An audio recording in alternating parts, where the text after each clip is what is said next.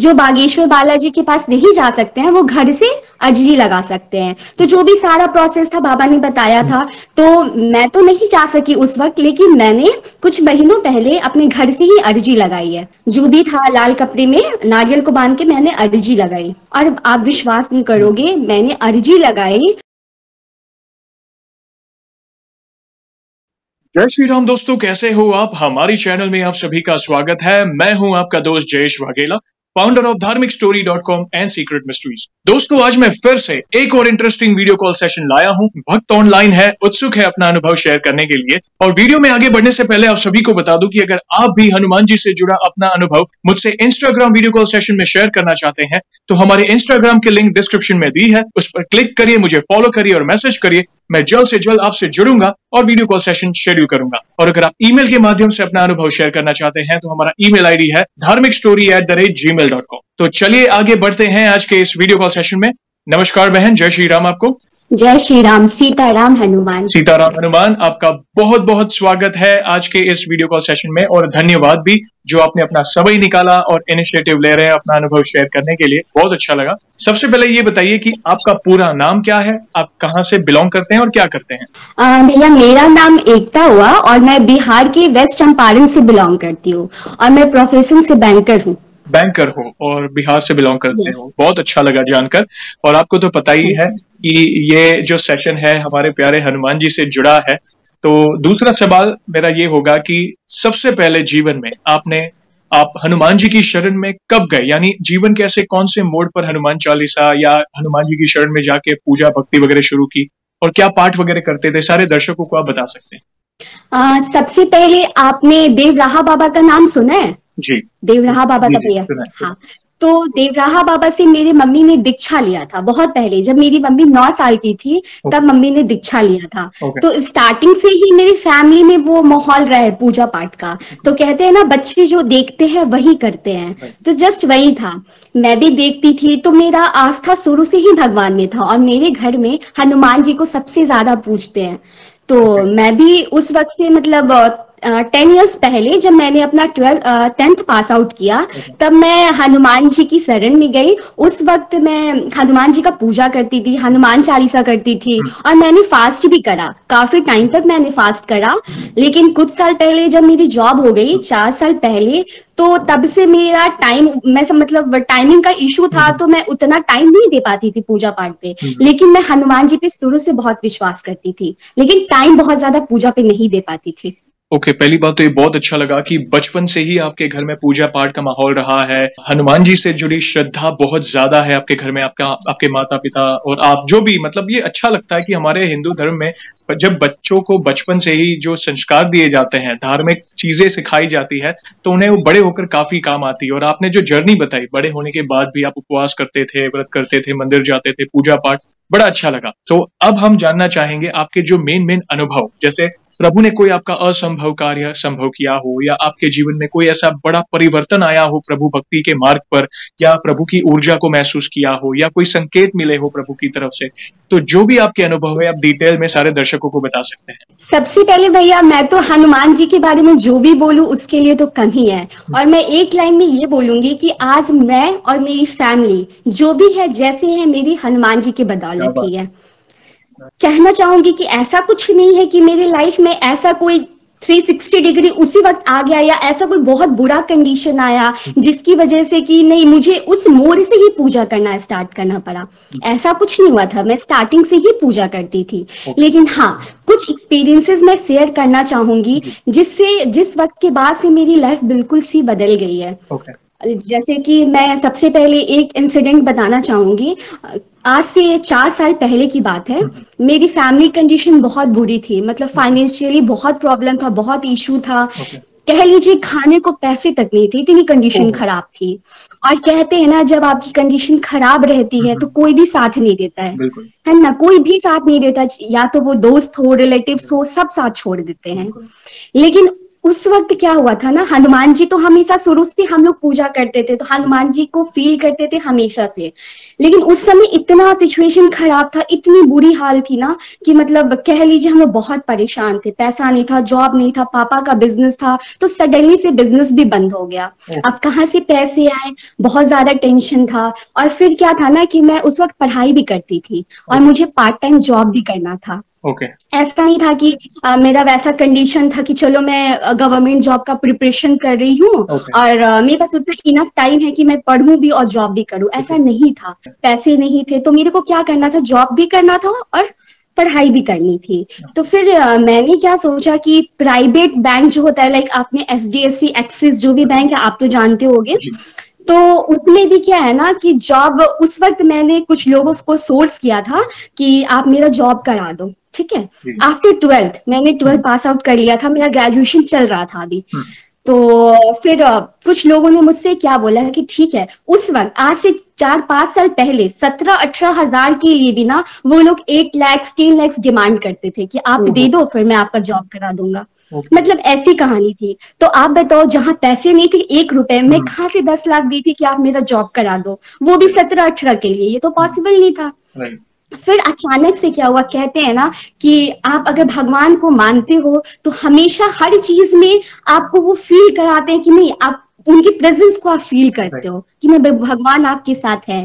तो कह लीजिए अचानक से मेरे ये दिमाग में आया कि नहीं क्यों किसी से हेल्प लेना? हम लोग चलते हैं डायरेक्ट बैंक में जाके खुद से अप्रोच करते हैं। तो H D F C bank आज के टाइम नंबर वन बैंक है एच डी एफ़ सी तो फिर मैंने एक मेरी मौसी की बेटी है कज़न है मेरी तो हम दोनों ब्रांच गए। हम्म। वहाँ पे मैंने ब्रांच मैनेजर से कांटेक्ट किया हम्म। मैंने अपना इंटरव्यू दिया और नेक्स्ट डे क्या हुआ ना मेरे को वहाँ से कॉल आया कि Ekta you are selected for this job लेकिन प्रॉब्लम क्या है ना कि जैसे बैंक में आ, दो तरह का चीज़ होता है। एक तो आप बैंक में प्रॉपर बैंक के स्टाफ हो। दूसरी चीज़ होता है ना कि आप थर्ड पार्टी हो। लाइक लाइफ इंश्योरेंस तो आप जानते हो इंश्योरेंस एल जो कहते हैं तो उसी के लिए वैकेंसी था उस वक्त तो मेरा बस उसी प्रोफ़ाइल के लिए सिलेक्शन हुआ था इंश्योरेंस के लिए क्योंकि दूसरा कोई भी वैकेंसी नहीं था okay. और सबसे बड़ी बात मेरे पास कोई डिग्री नहीं थी मैंने उस वक्त जस्ट अपना बी कॉम कंप्लीट किया था okay. और मैंने कॉरेस्पॉन्डेंस एम किया था okay. तो वैसा होने के लिए तुम्हें पास डिग्री चाहिए था बट कुछ था नहीं मेरे पास।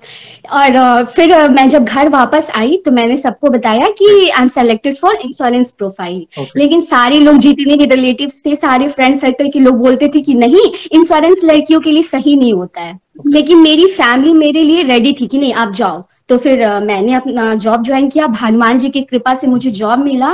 और दो साल तक मैंने बहुत अच्छे से जॉब किया। मुझे कोई भी प्रॉब्लम नहीं था सब कुछ बहुत अच्छा चल रहा था।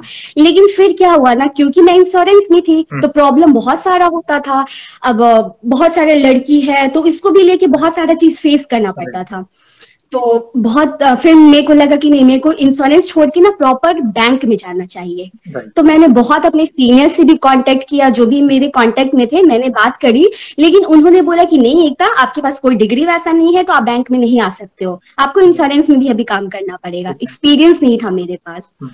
तो फिर भी मैं बहुत रोती थी बहुत ज़्यादा रोती थी भैया। कह लीजिए कि मैं बहुत परेशान रहती थी और किसी से मैं कुछ कह भी नहीं सकती थी। हम्म।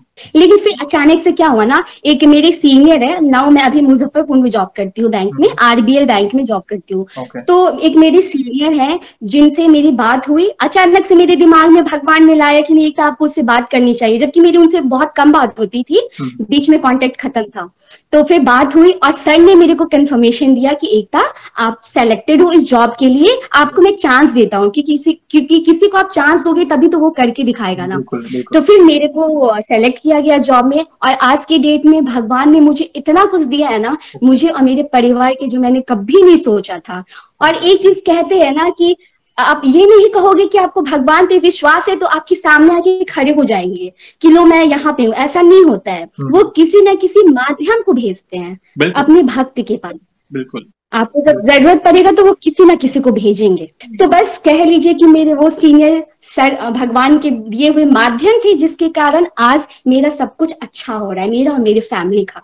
क्या बात सब कुछ। आपने आपकी जो ट्रांजिशन जो पीरियड था आप एकदम अद्भुत अनुभव आपने शेयर किया। स्पेशली आज का जो युवा अगर आपके अनुभव को देख रहा है ना हम्म। काफ़ी इंस्पायर्ड होगा। क्योंकि एक समय ऐसा डाउनफॉल था आपके पापा का बिज़नेस प्लस आपके घर में खाने तक की प्रॉब्लम आ गई थी आपने आपने जैसे बताया राइट आप पढ़ाई जारी थी और उसके साथ काम करना चाहते थे। चैलेंजेस बहुत थी जॉब्स नहीं मिल रही थी। पैसे देकर जॉब मिल रही थी। अगर अठारह, बीस हज़ार की जॉब तीन, दो दो, तीन तीन लाख, आप जैसे आपने बताया, बहुत बड़ा चैलेंज और उसके सामने आपको जो ट्रांजिशन मिला मतलब जो ट्रांजिशन पीरियड में आपने जो मेहनत की और आपके अंदर एक डिज़ायर था और साथ में आपने प्रभु को रखा, प्रभु से विनती करते थे कि प्रभु, आप हमारा साथ देना। और यस आपने बिल्कुल सही कहा कि प्रभु कोई ना कोई संकेत देते हैं या किसी के माध्यम से या किसी के रूप में आकर आपका कार्य कर ही देंगे। अगर आपकी भक्ति सच्ची है तो बहुत इंस्पिरेशनल अनुभव है आपका। स्पेशली आज महिला भक्तों को काफ़ी इंस्पिरेशनल मिलेगी, क्योंकि कहीं महिला भक्तों को एक डर होता है? क्या हनुमान जी की भक्ति मैं एक लाइन आपने ये बोला ना महिला के लिए तो आ, मैं एक चीज़ बोलना चाहूँगी कि बहुत लोग बोलते हैं ना कि लड़कियों को पूजा नहीं करनी चाहिए लेडीज़ को पूजा नहीं करनी चाहिए। लेकिन मैं अच्छा आप एक चीज़ देखते हैं कि एक भजन है या फिर जैसे हनुमान जी को हम लोग बोलते हैं या भजन उनका गाते हैं तो क्या बोलते हैं? सीताराम हनुमान। है ना? एक भजन है ना? सीताराम हनुमान का जो हम लोग करते भी है। तो उसमें क्या हम लोग हनुमान जी का नाम ही सीता मैया से लेते हैं। तो जब नाम ही उनका सीता माँ से स्टार्ट है तो हम लोग उनको भाई और उनको परम पिता समझ के तो पूज ही सकते हैं ना? उसमें तो कोई दिक्कत नहीं है। तो मैं उन लोगों से बोलना चाहूँगी कि जो लोग बोलते हैं कि महिलाओं को पूजा नहीं करनी चाहिए ऐसा कुछ नहीं होता है। आप लोग उनको परम पिता समझ के भाई समझ के उनको पूछ सकते हैं पूजा कर सकते हैं उनकी। बिल्कुल वे आपकी हर कदम पर सहायता करेंगे। आज अनगिनत महिला भक्त उन्हें हम्म। अपने पुत्र रूप में मानती है पिता रूप में मानती है उन्हें भाई रूप में मानती है उन्हें हर रक्षाबंधन को राखी पहनाती बांधती है और सेवा भी करती है। तो आज आज देखो प्रभु क्यों अपने भक्तों में भेदभाव करेंगे? समझने की बात है। प्रभु बिल क्यों वे बड़े ही दयालु हैं। ये तो भ्रम फैला हुआ है समाज में। आज महिला आज हम देखते हैं समाज कलयुग में समाज में पुरुष प्रधान हम बोलते हैं। मगर महिलाएँ ही ऐसे कई फ़ील्ड है जिसमें पुरुषों के आगे हैं। बड़ी बड़ी कंपनी के सीईओ बनी हुई है पायलट बनी हुई है आर्मी में है। आज देखो आप कितनी एडवांस होती जा रही है और हम महिलाओं को ये करते हैं। इनफैक्ट हमारी संस्कृति में ये कहीं नहीं लिखा है। हम बोलते हैं ना कि पुराने जमाने का टाइम है था जिसमें महिलाओं को ऐसा नहीं है। हमारे हमारी संस्कृति में हमारे ग्रंथों में कहीं ऐसा नहीं है। अगर हम महादेव का नाम ले श्री राम का नाम ले श्री कृष्ण का नाम ले तो महादेव के नाम के पहले क्या आता है?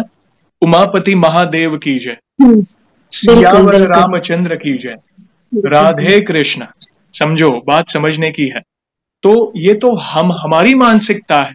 भगवान ने कभी ऐसा नहीं किया है। आदि शक्ति आप जानिए शक्ति को जानिए नारी शक्ति को जानिए और यस प्रभु कभी भी अपने भक्तों में भेदभाव नहीं करते। और हम उत्सुक हैं। बहन आपके और भी अनुभव जानने के लिए प्लीज़ और भी कोई अनुभव तो डिटेल में शेयर करें।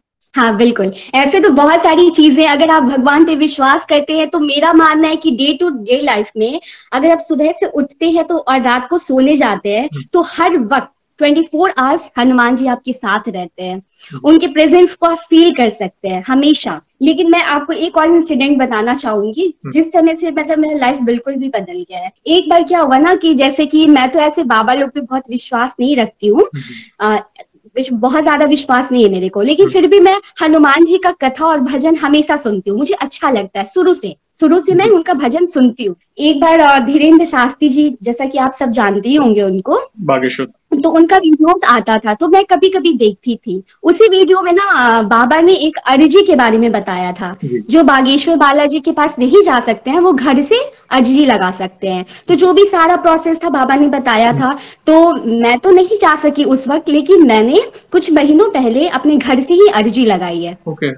Okay. जो भी था लाल कपड़े में नारियल को बाँध के मैंने अर्जी लगाई।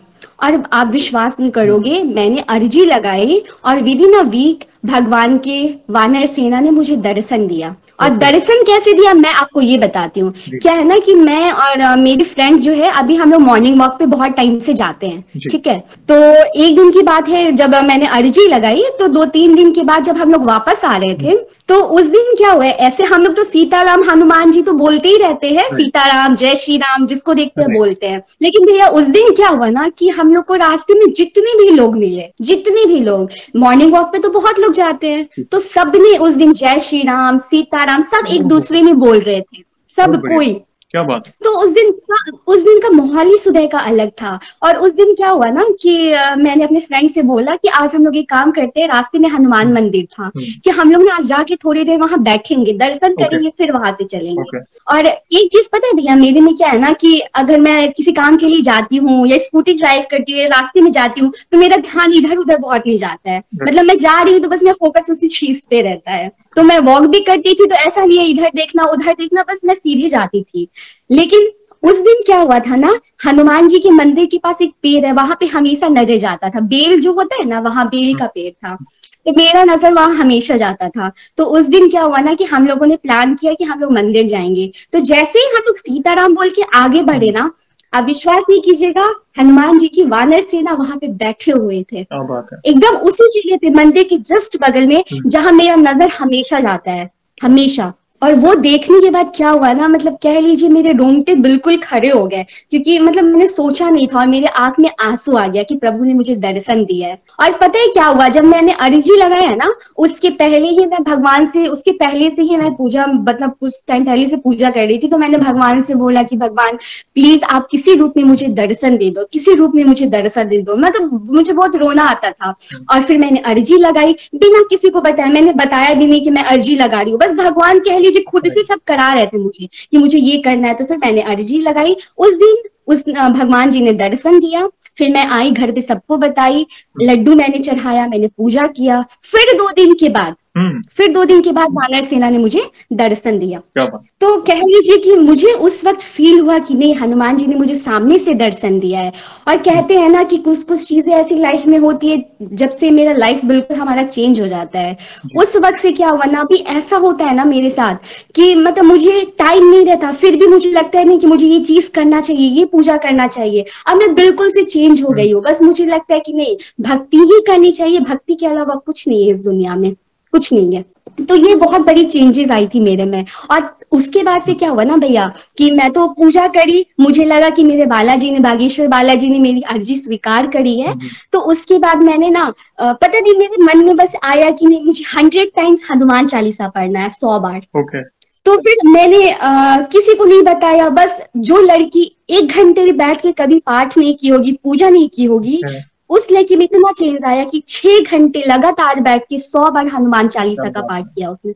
सौ बार। वो भी छह घंटे कंटिन्यू गर्मी में बैठ के बिना फ़ैन के। मैंने पाठ किया। और कुछ भी नहीं हुआ ऐसा नहीं कि उठने के बाद मेरी तबियत खराब हुई या ऐसा कुछ भी नहीं हुआ। मैं एकदम बिल्कुल ठीक हम्म। थी। उसके बाद मम्मी ने क्या बोला कि जब तुम हनुमान चालीसा का पाठ कर ही रही हो तो सुंदर कांड पढ़ लिया करो। हम्म। कहते हैं ना कि भगवान बुलवाते हैं किसी से कुछ अगर ऐसा होता है तो। तो बस भगवान ने मेरी मम्मी से और मेरी मम्मी बहुत बड़ी भक्त है हनुमान जी की। तो मम्मी ने बोला सुंदरकांड का पाठ किया करो तब से मैं हर दिन चाहे मेरा जॉब नौ बजे से आठ बजे तक रहता है मुझे टाइम मिले ना मिले मैं किसी तरह मैनेज करती हूँ लेकिन पर डे मैं हनुमान चालीसा और सुंदरकांड का पाठ करती हूँ पर डे ये बहुत बड़ा जवाब है उन लोगों के लिए जो कहते हैं ना कि हमारे पास भक्ति के लिए समय नहीं है। कई लोग एक्सक्यूज हम्म। देते हैं आप देखो वर्किंग लेडी हो आप घर संभालते हो आप ऑफ़िस यानी बैंक में जॉब कर रहे हो कहते हैं ना नाइन टू सिक्स लाइक जो भी नौ दस घंटे आपके बैंक में बीतते हैं कई बार ज़्यादा भी समय चले जाता है। फिर भी इतना कुछ होने के बाद आपने अपनी भक्ति जारी रखी इनफैक्ट बढ़ रही है। आपकी जैसे आपकी माता जी ने आप मेरी तरफ़ से आपकी माता जी को जय श्री राम ज़रूर बोलिएगा। कहते कहते ना कि हम एक कदम आगे बढ़ाते हैं ना तो प्रभु हमें प्रेरणा दिलाते हैं किसी ना किसी के और चार कदम और आगे बढ़ाते हैं ताकि हमारा हमारी भक्ति हमारा विश्वास दृढ़ हो सके। और आपके अंदर तड़प थी, आपके अंदर तड़प थी प्रभु को, कहते हैं ना, प्रभु के दर्शन की, आपने अर्जी लगाई। और प्रभु, कहते हैं ना, प्रभु कभी भी, देखो अगर आपकी भक्ति सच्ची है, अगर आपका हृदय पवित्र है तो वे किसी ना किसी रूप में आपको दर्शन देने ज़रूर आएँगे। वे अपनी उपस्थिति का एहसास आपको ज़रूर दिलाएँगे। और ये मैंने अनगिनत भक्तों द्वारा सुना है, अब उनके अनुभवों में, इनफैक्ट मैंने भी अनुभव किया है। तो मैं समझ सकता हूँ कि आप क्या कहना चाहते हैं। और वो चार्म दिख रहा है भक्ति की चमक है आपके फेस पे। और प्रभु से यही प्रार्थना है कि आपकी भक्ति डे बाय डे ऐसे ही बढ़ती रहे और आप लोगों को भी प्रोत्साहित करें प्रभु की शरण में जाने के लिए। बहन और भी कोई अनुभव हो तो प्लीज़ शेयर करें। हाँ बिल्कुल। एक बात और मैं बताना चाहती हूँ भैया क्या हुआ कि जब मैंने अर्जी लगाई और मेरे में ये चेंजेस आया कि नहीं आ, मतलब आपको पूजा करना चाहिए टाइम मिले या ना मिले चाहे मैं कितनी भी थकी रहूँ मैं पूजा करती ही करती हूँ कुछ भी हो जाए। और एक बार क्या हुआ ना अचानक से मतलब मैं चिकन बहुत ज़्यादा खाती थी बहुत ज़्यादा। मैं पूजा तो मतलब हनुमान जी को मानती थी लेकिन मैं नॉनवेज भी बहुत ज़्यादा खाती थी। हम्म। लेकिन जब आ, मैंने पूजा स्टार्ट किया ना उस उसके कुछ टाइम पहले से ना मेरा सडनली ऐसा कुछ भी प्री प्लान नहीं था कि छोड़ना है या ऐसा कुछ। सडनली से मेरा नॉन वेज छूट गया। मतलब मैं हम्म। अभी के टाइम में ऐसा कुछ होता है ना बहुत लोग टेस्ट लेने के लिए बोलते अरे खा लो खा लो एक था कोई नहीं खा लो अरे कल से मत खाना। ऐसा बहुत लोग बोलते हैं। लेकिन अंदर से अब मन ही नहीं जाता बिल्कुल मन नहीं जाता है। जो लड़की बहुत ज़्यादा खाया करती थी आज के टाइम में बिल्कुल भी नॉनवेज पे ध्यान नहीं जाता है थोड़ा भी नहीं। अब तो बस लगता है जो है भक्ति ही है बाकी कुछ नहीं है दुनिया में। प्रभु की विशेष कृपा है क्योंकि होता है ना कि जब हम सच्चे दिल से प्रभु की शरण में जाते हैं अपने आप को उनके प्रति समर्पित करते हैं ना तो प्रभु इम्प्योरिटी हमारे अंदर से निकाल देते हैं आप कोई व्यसन हम्म। कहो या नॉनवेज खाना कहो तो ऑटोमेटिकली वो कई लोग बोलते हैं ना कि मेरे से छूट नहीं रहा है एक्सक्यूज देते हैं अपने कंफर्ट जोन के बाहर नहीं निकलना चाहते कई लोग ऐसे होते हैं कि हम्म। भाई अरे मैं अपने लाइक विटामिन प्रोटीन के लिए खाता हूँ ये। हाँ, कई लोग बोलते हैं एक्सक्यूज देते हैं नहीं छोड़ने के बहाने। अरे वेज खाओ वेज में भी तो सब कुछ है। ऐसा नहीं है। मगर ये नहीं छोड़ने के बहाने होते हैं। मगर देखो जिसको छोड़ना है ना वो एक दिन में भी छोड़ सकता है। और ऐसा नहीं है कि आप नॉनवेज खा रहे और प्रभु की भक्ति नहीं कर सकते। जैसे आपने आपका नॉनवेज जारी था और आप प्रभु की भक्ति भी कर रहे थे। फिर हुआ क्या? प्रभु ने ही आपको प्रेरणा दी कि उसे छोड़ दो। वो हम्म। आपको ऑटोमेटिकली फ़िल्टर कर देंगे। तो कई लोग रुक जाते हैं कि चलो मैं नॉनवेज खा रहा हूँ मैं भक्ति नहीं कर पाऊँगा, पाप लगेगा। अरे, शुरू करो एक बार। आप भक्ति करना शुरू तो करो। ऑटोमेटिकली सब कुछ स्टॉप हो जाएगा, आपको पता भी नहीं चलेगा। तो ये बहुत बड़ा एग्ज़ाम्पल बहन आपने आज सेट किया है। आज काफ़ी युवाओं को स्पेशली जो यंग जनरेशन है, जो भटकी हुई है, गलत चीज़ें कर रही है एक्सक्यूजेस देती है भक्ति के मार्ग पर, उनकी आँखें खुल जाएगी। आज आई ओपनिंग है आपके अनुभव। और इन फ्यूचर ऐसे कोई भी अनुभव आप अनुभूति करते हैं तो प्लीज़ हमसे जुड़िएगा। हम बिल्कुल भैया भगवान की कृपा से भगवान की कृपा से क्या हुआ है ना okay. कि अभी तो मैंने घर से ही अर्जी लगाई है okay. बट अभी मैं नहीं जा पाई हूँ बागेश्वर धाम लेकिन मैंने भगवान की कृपा से बिना कोई प्लानिंग का कोई भी प्लान नहीं था कि हमें जाना है। घर पे भी कोई ऐसा कुछ प्लान नहीं था। लेकिन अभी हमारा टिकट बन चुका है। अगस्त में मैं जा रही हूँ बागेश्वर धाम। मैं पूरी फैमिली को भी लेके जा रही हूँ। देखो और बस वहाँ से आने के बाद मैं फिर से आपसे चाहूँगी अगर कुछ मेरा वैसा एक्सपीरियंस रहा तो ज़रूर जुड़ना चाहूँगी आप लोगों से। ज़रूर ज़रूर। मैं तो वेट कर रहा हूँ। आप प्रभु का बुलावा आ ही गया क्योंकि आपके अंदर वो तड़प थी। आपने घर से अर्जी लगाई उन्होंने डायरेक्ट दर्शन दिए वानर के रूप में। प्लस आपको धाम बुलाया मतलब बहुत बड़ी कृपा है। आप उनकी छत्र छाया में हो। प्रभु आपके फैमिली की रक्षा ऐसे ही करे। और आपका जब जाना होगा तो हमारी सीक्रेट मिस्ट्रीज फैमिली जो भी भक्त हैं हमारे उनकी तरफ़ से भी दर्शन कर लीजिएगा प्रभु के प्लीज़ और एकदम एकदम श्योर और भी कोई अनुभूति हो इन फ्यूचर में तो हमसे जुड़ेगा हम वीडियो के माध्यम से आपके अनुभव को भक्तों तक पहुंचाएँगे। एक और सवाल जैसे आज हम आपका अनुभव सुन रहे हैं वैसे आपने बाकी भक्तों के भी अनुभव सुने होंगे हमारी चैनल में।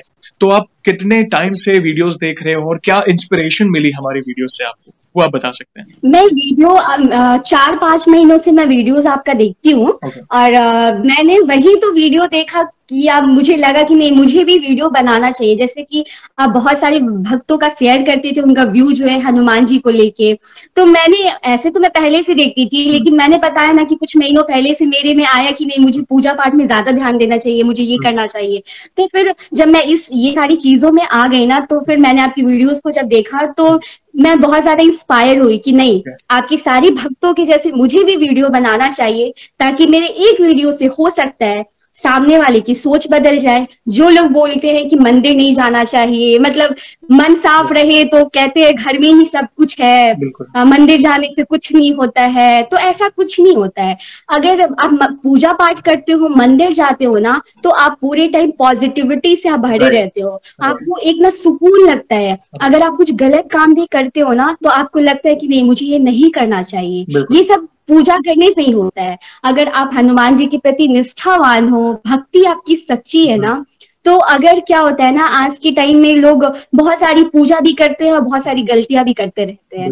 कि चलो कोई बात नहीं है हम्म। चलता है हनुमान जी थोड़ी ना देख रहे हैं लेकिन ऐसा कुछ नहीं होता है। जगह अगर आप पूजा कर रहे हो ना तो अंदर से मेरे साथ ऐसा होता है। आज के टाइम में अगर मैं कोई भी गलती करती हूँ ना मेरे आँख से आँसू आ जाता है।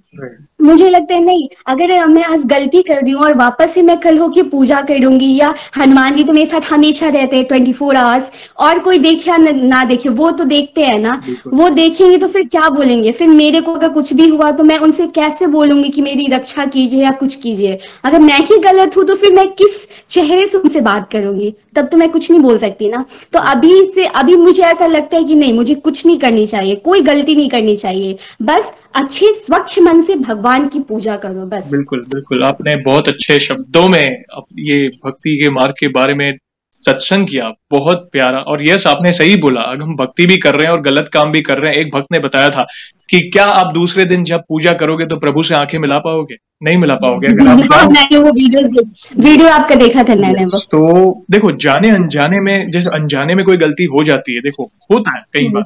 तो आप क्षमा याचना मांगे प्रायश्चित करें और फिर वो गलती ना दोहराने का संकल्प ले कि भाई प्रभु मैं वापस मुझसे ये गलती ना हो और कोई भी अनजाने अनजाने में गलती हो, उससे बचा कर रखे मुझे। फिर भी हो जाती तो भी क्षमा मांगे, मगर जान बूझ कर वही गलती दोबारा रिपीट करना सबसे बड़ा पाप है। तो उससे बचकर रहे। बहुत अच्छा लगा और लास्ट सवाल, वैसे तो हमारे पास इतना सामर्थ्य नहीं है, मगर फिर भी वन लाइन में हमारे प्यारे बजरंग बली का अगर आपको बखान करना है तो किस तरह करेंगे? बिल्कुल ऐसे तो बहुत सारी चीज़ें हैं जो मैं बोल सकती हूँ लेकिन अगर मैं बोलूँ तो पता चलेगा कि बहुत टाइम निकल गया जो कि सामने वाले देख भी नहीं पाएँगे। एक लाइन मैं उनके लिए बोलना चाहूँगी। जीवन बनाने वाले को राम कहते हैं संकट हरने वाले को हनुमान कहते हैं। तो हनुमान जी को ये दुनिया तो राम ने बनाया है और हनुमान जी हमारे हर संकट को दूर करते हैं हम्म। तो जो लोग कहते हैं ना कि मुझे हनुमान जी पे विश्वास है हम्म। लेकिन फिर भी टेंशन में रहते हैं कि मेरा ये काम कैसे होगा वो काम कैसे होगा हमेशा परेशान रहते हैं और दूसरी तरफ़ वो पूजा भी करते हैं कि नहीं मुझे विश्वास है तो मैं ये बोलना चाहूँगी कि जो लोग को विश्वास है ना भगवान पे वो अपनी हर चीज़ को भगवान के ऊपर छोड़ दो। हम्म। अगर जब से आप विश्वास कर रहे हो ना तब से छोड़ दो कि आपको कोई प्रॉब्लम होगा ज़िंदगी में। जब आपने सब कुछ हनुमान जी को सौंप दिया है तो वो तो फिर है ही आपके रक्षक। उनको संकट मोचन बोलते हैं वो हर संकट को हर लेंगे। तो बस आप लोग उन पे विश्वास कीजिए। बाकी सब ठीक है। जय श्री राम। जय श्री राम। बाकी सब बालाजी संभाल लेंगे। एक विश्वास होना चाहिए वे साथ है तो किस बात की चिंता? और बस अपने अच्छे कर्म करो। धीरज रखो रटूट विश्वास रखो। देखना आपका जीवन सुख और समृद्धि से भर जाएगा।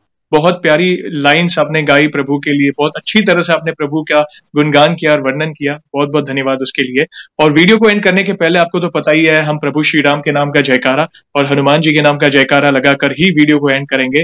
आप जुड़िए जो भी भक्त जहाँ कहीं से इस वीडियो को देख रहा है भारत में है भारत के बाहर है चल फिर रहा है सिग्नल में ऑफ़िस में किचन में प्लीज़ जयकारे में जुड़िए फिर हम वीडियो को एंड करेंगे। तो बोलिए सियावर रामचंद्र की जय। पवन सुत हनुमान की हनुमान की जय बहन आपका बहुत बहुत धन्यवाद। वंस अगेन धन्यवाद इतने प्यारे प्यारे अनुभव शेयर करने के लिए। जय श्री राम जय हनुमान। जय श्री राम जय हनुमान।